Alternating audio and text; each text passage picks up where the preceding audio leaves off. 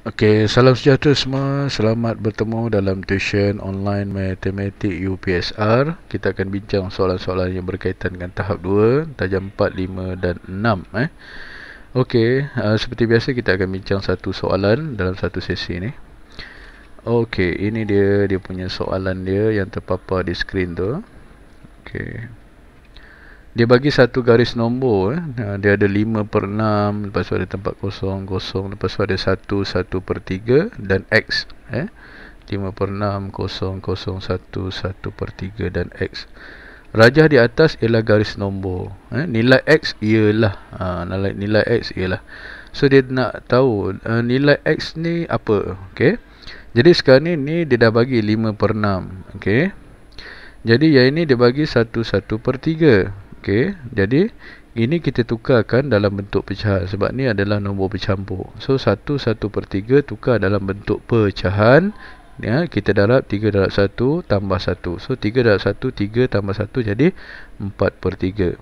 Jadi ini 4 per 3 Ini 5 per 6 Jadi kita jadikan dia benda yang sama Sama ada kita tukarkan dia jadi 3 Boleh tak tukar jadi 3? Tak boleh Sebab ni 6 kalau kita nak tukarkan 6 bahagi 2 3 tapi ni 5 bahagi 2 dah jadi lain. Okey, jadi kita tukarkan dia jadi 6. Bawah ni jadi 6, ini pun jadi 6.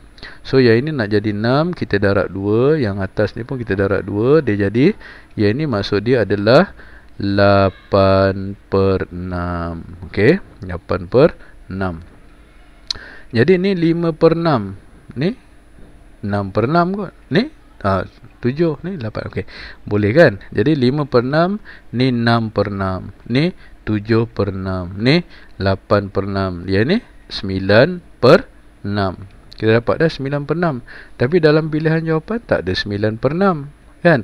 Jadi maksud dia 9 per 6 bila kita dapat 9 per 6 untuk nilai X tadi eh? X 9 per 6 kita kena kecilkan kita boleh kecilkan uh, 9 per 6 ni dengan menggunakan sifir sifir berapa?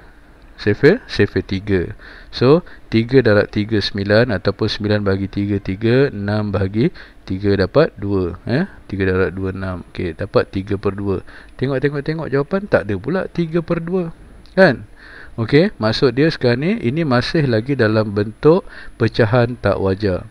Dalam uh, jawapan tidak ada pecahan dalam bentuk pecahan tak wajar. Kita kena kecilkan lagi. So maksud dia 3 per 2 maksud dia 3 bahagi 2. 2 darab 1 2 3 tolak 2 1. So kita dapat 1 sebab kita nak baca daripada atas kan daripada ikut arah jam. Ha, jam pusing macam ni. So kita ambil 1 yang ni bawah 1 per 2 Okey Ha, ni jawapan dia. So kita tengok. Okey ada A ha? 1 1 per 2 Okey Jadi X nilai dia adalah 1 1 per 2 Okey Harap semua boleh faham.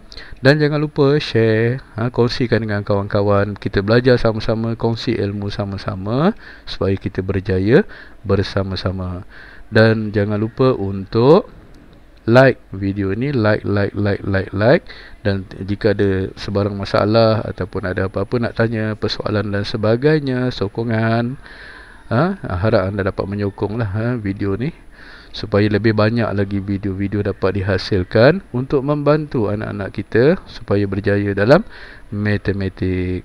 Okey, sekian sahaja. Terima kasih.